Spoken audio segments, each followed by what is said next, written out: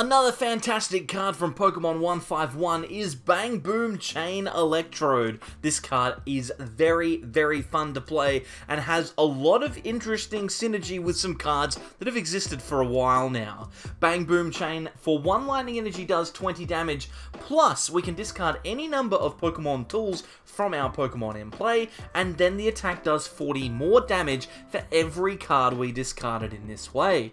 That means that we can deal a ton of damage for a single energy, as long as we have a bunch of tools in our play area. Now we can use this Honchkrow V with Boss Pockets to get a whole bunch of different tools in play. The ability Boss Pockets allows us to attach four of them to our Honchkrow, so if we have one Honchkrow in play, that's four items attached to our Pokemon, plus potentially four more, you can see how we'd very quickly get to some quite significant numbers with our our Electrode. We are also playing four copies of the brand new Leftovers Pokemon tool, not necessarily for the effect, but instead to synchronize with the new Voraciousness Snorlax, which will allow us to get those leftovers from the discard pile back into our hand. With two Snorlax, we can bring all four leftovers back and have four cards to discard every single turn. And finally, if we do get ourselves into a position where we've discarded all of our tools, then that's fine. We still have one big hitter left in the deck, and that is Rotom V-Star. This lightning type V-Star Pokemon has Scrap Short for two lightning energy, deals 80 damage, plus we can Lost Zone any number of tools from our discard pile and deal an extra 40 damage for each card that we put in the Lost Zone this way. So you can see we sync them up. We put the, the cards in the, in the discard pile thanks to Electrode, and then we put the cards in the Lost Zone thanks to our Rotom V-Star. It's pretty good. It's a pretty good combination. So you can see the list here. It is scrolling very, very slowly up and down the screen right now. It's very difficult to do that whilst also talking to you, by the way, so just make sure it gets back into the right spot. If you'd like, you can check it out down in the description. It's it's there for you to copy into Pokemon TCG Live whilst you're there. Like the video, subscribe, leave a comment, tell me what you think of this Electrode. I think that it's a lot of fun, and it could potentially beat some meta decks. Like, I think we can bang boom chain for knockout a couple of times here. We'll see how we go. We'll see if we can't get this game with Electrode. And one card that I forgot to mention, and probably should, to be brutally honest, is this Luxray with Explosiveness. It's a stage 2 that we can put into active as long as we start with it. So I'm happy to do that. It's very, very useful. We can then grab our Miraidon with a Nest Ball and use that tandem unit ability to really grab as many lightning Pokemon as we like. We've got a Voltorb here, which is fantastic. We've got the ability to attach an energy, and I'm thinking attaching to the benched Voltorb is probably not a bad idea. Uh, we don't necessarily need to worry about it. Uh, and then we can also potentially Ultra Ball. I think it's best, though, to just use Rotom's Instant Charge. Probably attach that stone to it just in case we get Ionoed or Judged. We'll draw a bunch of cards. And those are some solid ones. Like, not terrible cards to get off of the top deck. You notice that Luxray in the active, very, very good with free retreat, 160 HP, very strong for a starter, but it also has Seeking Fang for one colorless energy, deals 50, and we can search our deck for up to two trainer cards, which is super, super good in this deck. It allows us to search for consistency, like supporters or Ultra Balls, search out our Pokemon, whatever it might be, or we can even grab a tool or two to attach to our Pokemon. Now, it looks like our opponent is grabbing themselves out a very, very interesting bench here. I'm, uh, I'm not 100% sure how I am going to deal with the Turtwig, but that's okay. We'll figure it out. It looks like they've even got the Call for Family up on their Iono as well. So uh, they're probably pretty set here. We, on the other hand, are in a little bit of trouble being Ionoed there. We now don't have energy, we don't have all of those lovely Pokemon, they're all to the bottom of the deck now, but we can still use the Artazon to get our board set up. So we do have Artazon, we've got Miraidon, it's actually not too bad here. Uh, as long as we find an energy, I'll actually be quite happy. So let's see what we can do. We can pop that Honchkrow down. We definitely want the Honchkrow to be in play, because uh, then we can chuck all of these really uncomfortable tools that we're not a big fan of uh, keeping necessarily. We can throw those onto our Honchkrow. Uh, Honchkrow with three tools on it now, very, very handy. I think uh, it's also probably worth just going for like a tandem unit here. in tandem unit maybe grab another Electrode or a Voltorb, sorry. Um, and now the reason that we played that Star Alchemy uh, Forest Sealstone down is so that we can come through here and grab another supporter so we can shuffle these cards to the bottom of our deck and draw a fresh six, which is very, very handy. We just want a lightning energy. That's pretty much all that we need here. We do manage to find it, so very, very good. We also get the Electrode, so if we want to, we can potentially retreat and attack with that. But since we are hitting into this Pidgey for weakness, we may as well use Seeking Fang for that KO and grab ourselves two more trainer cards. I think we might go for the Iono and a Bravery Charm. Just another tool chuck down. We have four tools at the moment, plus a town store and an Iono, so plenty of tools coming down next turn, and an Electrode out of the prizes is pretty gosh darn good. Like, frankly, that's a good, a good setup. Now, I mean, I don't know how we're going to beat our opponent here, because our opponent is playing a deck that I've not necessarily seen a huge amount of, and that is uh, the very, very frightening Torterra. So we'll see whether we can manage to beat that. Um, I'm also very aware that my mic is ever so slightly far away from me. So just a moment as I organize myself here. Hopefully you can still, hopefully you can still hear me. There you go. Now we can get some real action here. How do you, how do you like that, Mike? There you go. And uh, we still wait for our opponent to play their, their turn. So it's all good. You've not missed anything. Um, we're just going to cruise along here. We're going to continue to take as many prizes as we can. We've got Electrode. We've got a potential knockout Warmer Rotom V at some point. Rotom V and V-Star both sharing the same attack. So that's very, very good. Really, what I would like to do is I would like to get an energy and attach it to the Rotom V at some point. That would be fantastic. The attack with the Luxray obviously very good, but if we get Iono to 5 and we don't find an energy, then this could be hard. Um, but we just have to wait and see. Our opponent is taking a very long time to click the buttons over there. I hope that they haven't just disappeared. Because if they've disappeared, this is going to be very, very awkward. Also, you might notice that I'm like tilting around a little bit.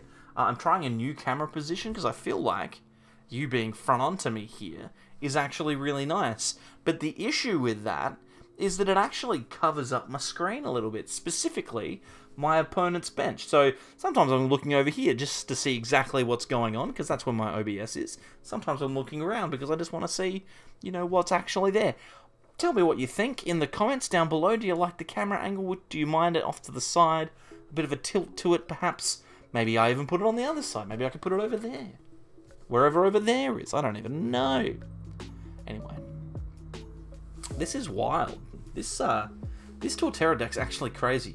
They're gonna put like a bunch of Pidgeots and Pidgeotos and stuff in play. That would be cool, cool. Okay, we've got an Electrode, and now we can actually start to really show off this deck in its full glory. We've got all of the tools that we could possibly want in the world.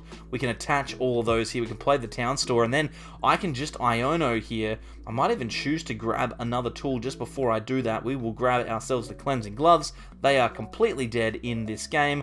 We'll throw those to the active, and then a single Iono here. Just hit an energy would be great to be able to power up another Electrode or the Rotom. That would be fantastic. Since I wanted it, I was never going to get it.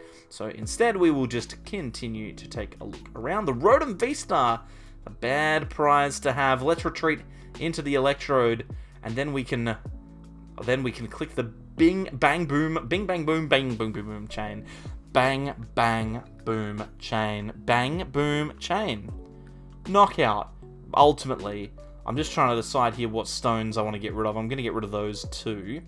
And we'll take that KO for exactly 100 damage. Probably, now that I'm thinking about it, could have could have got rid of the stone on the Rotom, maybe? I don't know. We found the lightning energy, though, which is good. So if our Electrode survives a turn, which I'm not expecting it to, that's horrifically bad. Um, I think it's just Miraidon on Luxray. That's so unfortunate.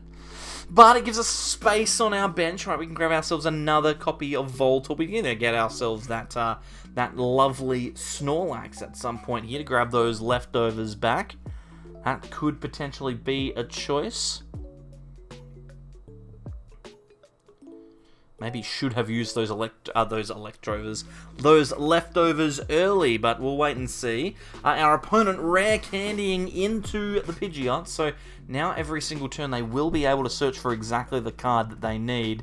Uh, and with the extra search for Pokemon from Grotle, this is actually looking like quite a uh, quite an impressive piece of uh, of Pokemon deck building. I, I actually really really like the concept here. You never know. I might once I've done my one five one decks, I might have to steal it. Let me know in the comments if you'd like to see this deck. I know I've said, I feel like I've said that four times. Let me know in the comments if you're sick of being asked questions. Try and drive engagement. Let me know. Or otherwise, just leave an emoji for the sake of engagement. I appreciate it. oh, I'm so tired. I'm so tired. It's a tiring experience, this one. Just gonna very quickly, uh, just gonna very quickly check something over here. Nothing's, nothing's going on. It's fine. We're all, we're all still recording. Just need to make sure that everything is still going okay. Um, now, obviously, with the Pidgeots in play, that's a really good position for us to be in. Our Electrodes will be able to take a knockout on those Pokemon quite easily. A Luxray in play, plus a Reversal Energy, so they'll be able to take a prize here. They're also going to use Artazon, which is really actually quite good for us. Uh, means that we can use Artazon, get ourselves a Snorlax if we want to, or even another Voltorb. We'll be able to follow that up with a Nest Ball as well to grab the cards that we need exactly then, replace the Stadium with Town Store and grab a tool so we can do some more damage with our Electrode. So I like this quite a lot. Our opponent is just setting their board up with a, a whole bunch of evolved Pokemon, and maybe now is the time for Torterra, a really, really strong Pokemon. It's also weak to uh, strong against the uh, the Charizard decks, which is good. So definitely worthwhile if we can get it to go. Maybe, like I said, we can do that in our next couple of videos at some point. Well, I mean, we won't do it the next one because there's definitely other things that we can be doing, but that's okay. All right, let's go for our Artazon here. We can grab ourselves either a Snorlax or a Voltorb. Voltorb I do like. I've got one more Electrode left and a couple of leftovers. Four energy in the deck is a little bit of a uh, bit of a frustration. That turn that we missed energy, if we'd been able to find it, that would have been really, really good. Uh, we're going to Nest Ball here. Uh, we're just going to grab another Rotom because I do want to get an EXP share onto Rotom as quickly as possible. And Town Store should be able to search one out. I do just want to make sure that we have a available attacker. That Rotom V must be able to attack at some point, and this will give us a really, really good chance. We can then also Energy Search, uh, and then begin the Big Bang Boom. We'll Bang Boom Chain, 20 plus 40. We need to discard a few here, so let's go for one, two, and I think we need to discard a third as well. Might even need four. I don't actually know. I don't I don't need to do maths. I'm going to discard four. That was way too many. That was way too many. I could have I could have discarded one less and still got that knockout. But that's fine. We get the leftovers off of the prizes and the town store is still in place. So that is good. Uh, and as we know, if the Electrode gets knocked out, then we can go in with the Rotom V next turn. As long as all stays the same, we will be in a position to attack with at least a Rotom V. That V-Star being in the prizes, though, is very, very awkward. I don't like that. I'll have to wait and see if we can unprize it. Oh, boy, oh, boy. Alright, Town Store from our opponent. They search through they, their deck. They can also quick search as well. They'll be able to search pretty much whatever cards they want this turn, get a variety of them, and then start attacking with those Torterras.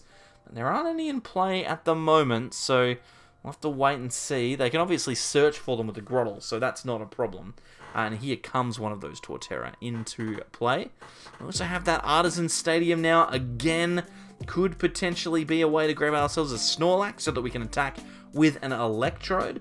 But we are expecting a knockout here on this Electrode, so definitely something to keep an eye on.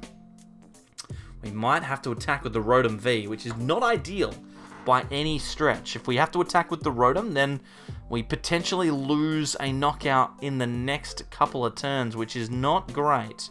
But that's okay. They play down a Turtwig. This is uh, this is actually turning out to be quite a close game. I wasn't expecting this Grotle deck to be so difficult to uh, to outspeed, but you know what? It is managing it. It's managing it quite well, and I wouldn't be surprised here if they do get a Gust knockout at some point. Obviously dealing a ton of damage.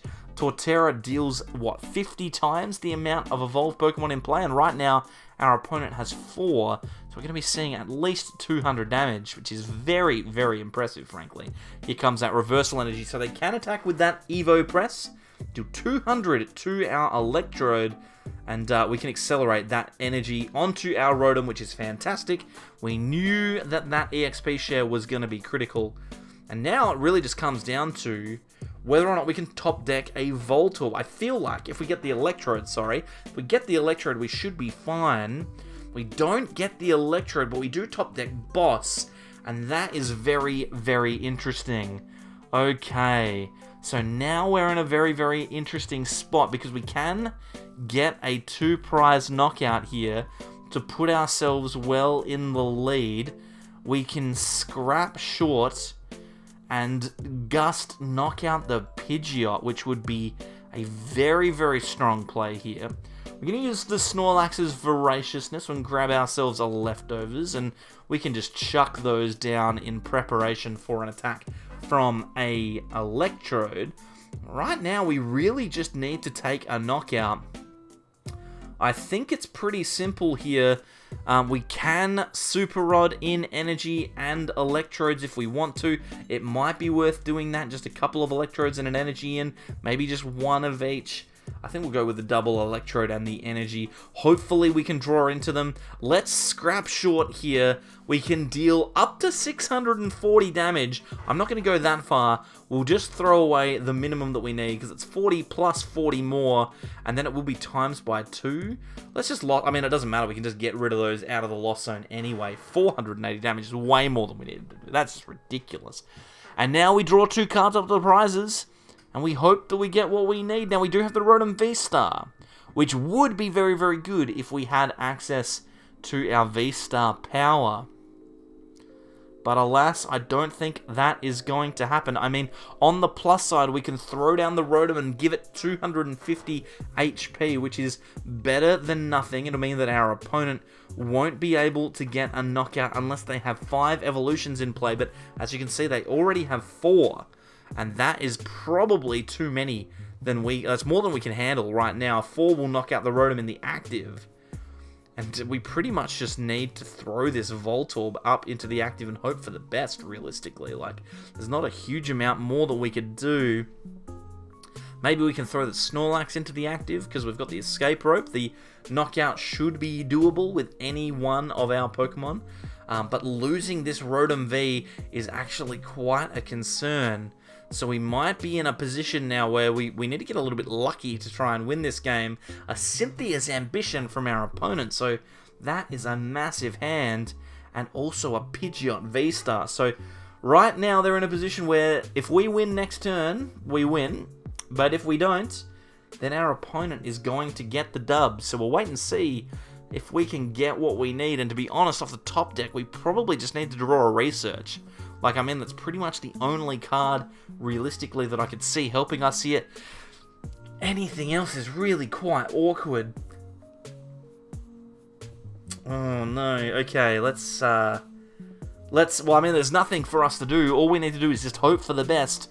Hope that we draw into the card that we need, and hope that that's enough to win the game. To be honest, like I said, there's only one card that I can really see being relevant, and that is a professor's research. If we get that and escape rope, then maybe we can draw into what we need, but it's going to be very, very difficult.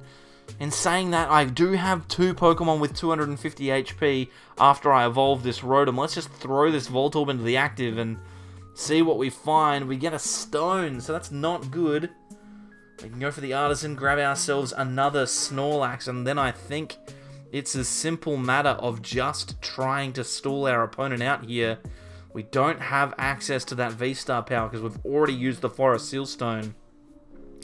And maybe that'll hurt us here. Let's escape rope. Our only hope now is that our opponent does not have a copy of Boss's Orders in their deck. If they don't, then we'll win. Oh, if they do, though, it's very, very bad. All we can do now is just pass the turn and wait. It looks like we might have just whiffed. But you know, I'll take that. We got pretty much all the things that we wanted to do done. We attacked with Electrode, we attacked with Rotom V-Star, so now we just need to wait and see. Does our opponent have boss in a 24 card deck? You would have to assume so. Here comes a Luxray and a boss. So that will do the job 330 damage with the Evo Press there to round out the game for our opponent, but you know what? I'm pretty happy. We got everything that we wanted to get done done. We had a pretty good game. Electrode took some knockouts, and against a two prize deck, we very easily could have had that. So I'm going to stick with it. Thank you everyone for watching. I appreciate you coming past as usual. Check out all the other videos.